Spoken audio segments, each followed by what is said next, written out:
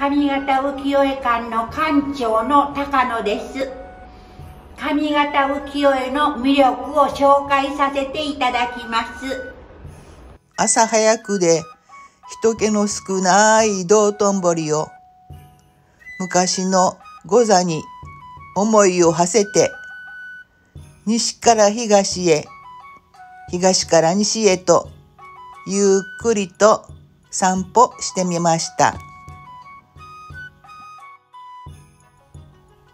御座の一つ西から何技です。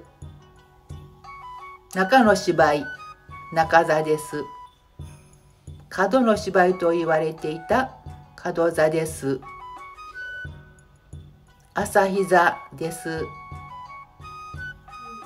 弁天座です。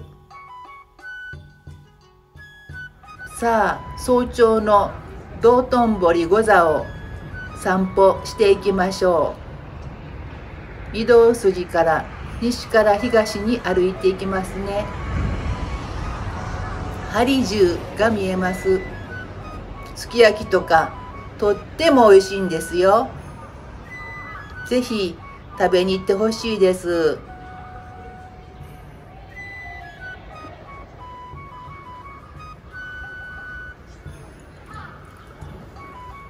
さあ針重の隣には松竹座が見えてきました。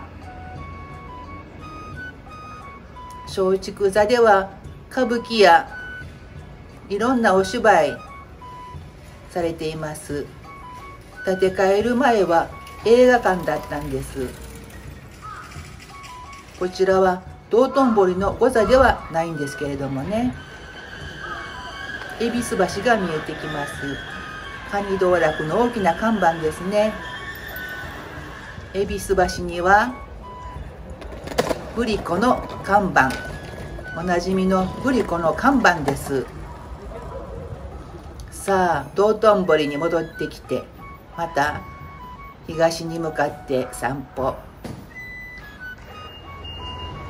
今工事中ですがこちらは昔何技のあった場所になります。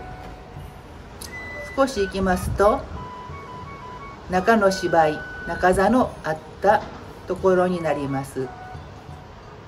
藤山甘美さんもこちらで楽しませていただいたんですよ。中座とたこ焼き屋の間のところを入っていくと法善寺横丁。さあそして右手に上方浮世絵館があります。法善寺の門前なんですね。串カツだるまさんの前にもなります。猫の看板がお出迎え。早朝なのでまだ開館してませんけれども。この猫の看板の前で皆さん写真をパシャリと撮られておりますよ。さあ道頓堀に戻ってきました。左手にだるまさんの看板も見えます。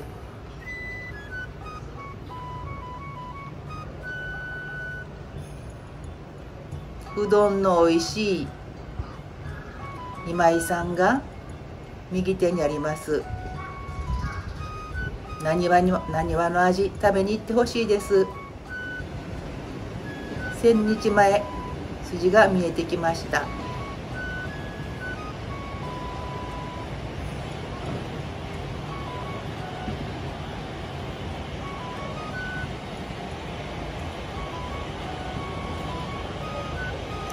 さあ右には角の芝居。角座のあったところになります。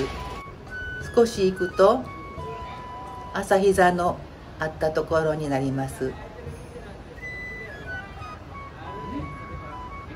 朝日座のあったところの横には相生橋筋です。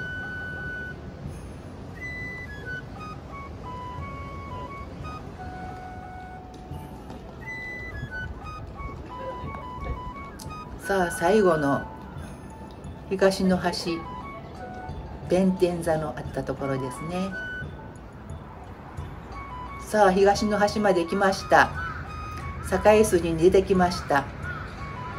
次は東から西に向いて戻っていきますね。左手に今度は弁天座が見えてきました。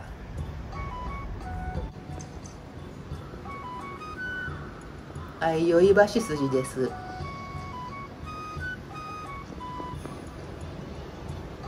朝日座のあった場所になります。夜はここは大変にぎわってる道頓堀だけど早朝は本当に静か。門座のあった場所になります。大凧さん。千日前が見えてきました。金龍ラーメンも見えてきました。うどんの今井さんです。中座のあったところここを左に入ると上方浮世絵館です。お待ちしておりますよ。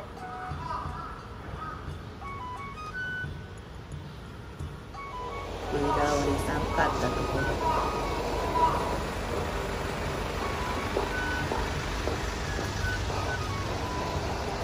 最後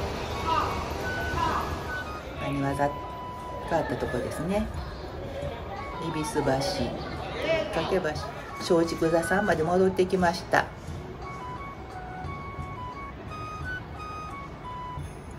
さあいかがだったでしょうか。御堂筋まで戻ってきました。同じ日のお昼間にまた来てみましたけれども。早朝とは違って若い人がたくさん来て楽しんでいました。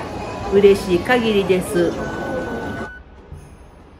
上方浮世絵館にお運びくださいましてお待ちしております。